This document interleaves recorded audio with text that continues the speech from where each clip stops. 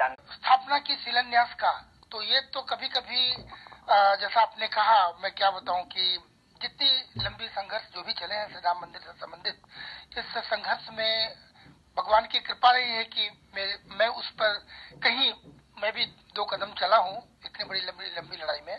चाहे वो तालकटोरा स्टेडियम हो, रामलीला मैदान दिल्ली हो, या फिर अयोध्या हो, अयोध्या धाम हो, या वृंदावन हो या फिर प्रयागराज हो, अनेकों जगह। उसके बाद धर्मादेश, हमारे विश्व हिंदू परिषद के तत्वाधान में एक काफ़ी चला, कम से कम सैकड़ों उसमें धर्मादेश यानी जनसभाएँ हम लोग सीधा मंदिर से संबंधित चलाए थे।